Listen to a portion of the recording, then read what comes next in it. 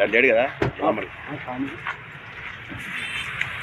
ఇప్పుడు ఇప్పుడు వాళ్ళు వచ్చారు చూడండి ఎందుకంటే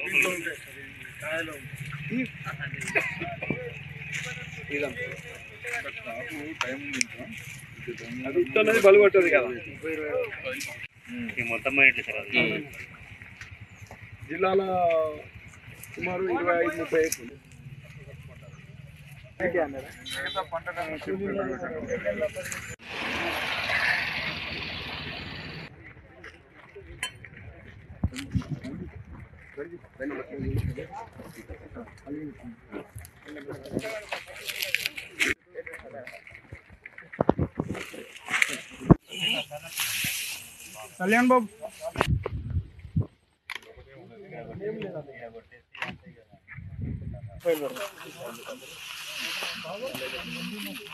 తమ్ముడు? సేమ్ అదే పొజిషన్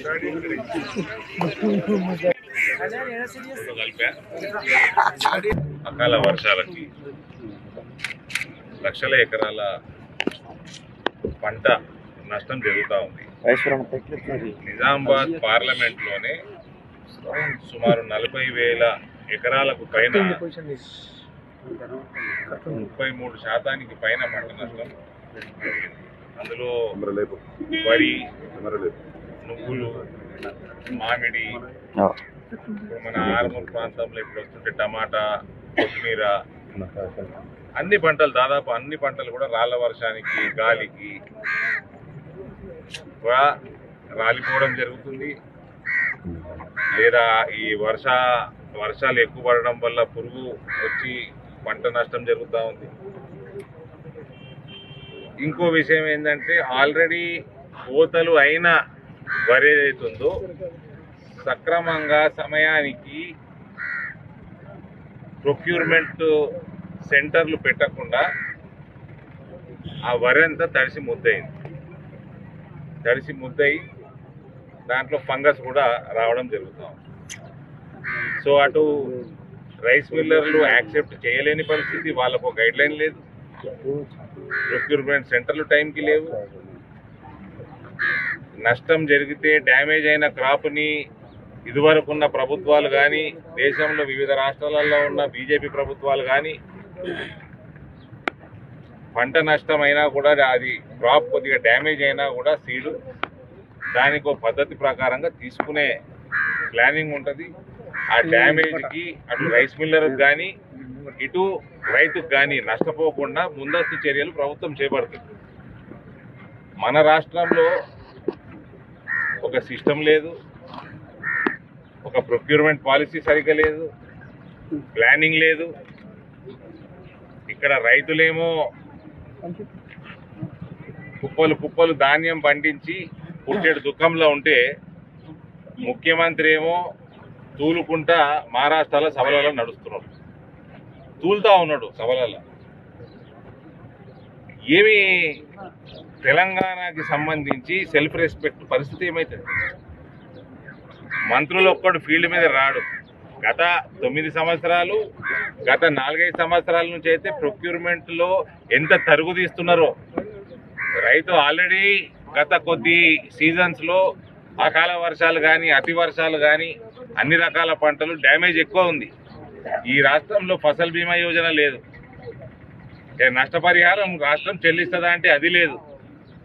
భారతీయ జనతా పార్టీ రాష్ట్రాలైన మధ్యప్రదేశ్ మహారాష్ట్ర హర్యానా లాంటి రాష్ట్రాలలో ఫసల్ బీమా ఉండంగా కూడా అదనంగా రాష్ట్రము నష్టపరిహారం కడుతున్నది రైతులకి. అటువంటి సింపథటిక్ యాటిట్యూడ్ రైతుల పక్షాన ఈ రాష్ట్రానికి రాష్ట్ర ప్రభుత్వానికి లేదు. అసలు సిస్టమ్ మొత్తం కొలాబ్స్ చేసి పెట్టిండ్రు.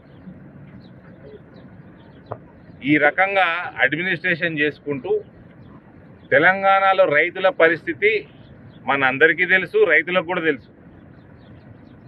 దానికి గాలి వదిలేసి రైతాంగాన్ని తెలంగాణలో దేశం మీద పడి అప్కి బార్ కిసాన్ సర్కార్ తెస్తారట కొద్దిగా మనిషి పుట్ట పుట్- పుట్టిన పుట్టుక పుట్టినాక కనీసం మినిమం సిగ్గు అని ఉండాలి. ఇక్కడ ఉన్న రైతుల్ని టోటల్గా రోడ్డు మీద వదిలేసి వాళ్ళకి ఎటువంటి సౌకర్యాలు క్రియేట్ చేయకుండా ఎటువంటి నష్టపరిహారం గత తొమ్మిది సంవత్సరాల నుంచి పెట్టకుండా ఏ పంటకొక్క బోనస్ ఇవ్వకుండా ఎంఐఎస్ పథకానికి పేరుకి బడ్జెట్లో వందల వేల కోట్లు కేటాయించి రూపాయి ఖర్చు పెట్టకుండా దాన్ని డైవర్ట్ చేసి రైతులకి ఏ స్కీమ్ కూడా ఇంప్లిమెంట్ చేయకుండా రుణమాఫీలు చేయకుండా ఈ అకాల వర్షాలు ఇది ఆకస్మిక వర్షాలు కాదు. ఇది ఫస్ట్ టైం పడలే మన చరిత్రలో. మూడు నాలుగు రోజుల ముందు రైతు మన మాన్సూన్ విభాగం తెలియజేస్తుంది. దానికి తగ్గట్టు చర్యలు ఉండాలి.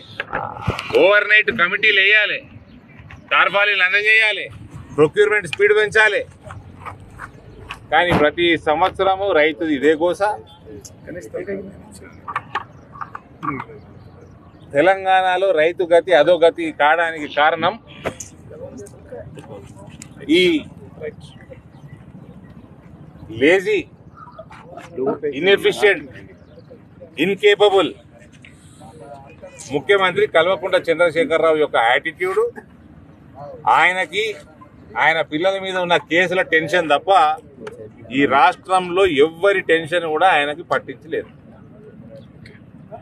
భారతీయ జనతా పార్టీ రాష్ట్రాలలో ఇచ్చినట్టు తక్షణమే ఇక్కడ ఫసల్ బీమా యోజన లేదు కాబట్టి మా రాష్ట్రాలలోనేమో మేము పాలించే రాష్ట్రాలలోనేమో ఫసల్ బీమా యోజన ఉంది. అదనంగా పదివేలు పదిహేను వేలు రైతులకు ఎకరానికి ఇస్తా ఉన్నారు అదనంగా. కాబట్టి ఇక్కడనేమో ఈయన ఫసల్ బీమా యోజన పెట్టాడు. రైతులకు ఏమి ఇయ్యాడు. తక్షణమే యాభై వేల రూపాయలు ఎకరానికి థర్టీ త్రీ పర్సెంట్ పైన డ్యామేజ్ అయిన క్రాప్కి చెల్లించాల్సిందిగా మేము బీజేపీ తరఫున డిమాండ్ చేస్తా ఉన్నాం.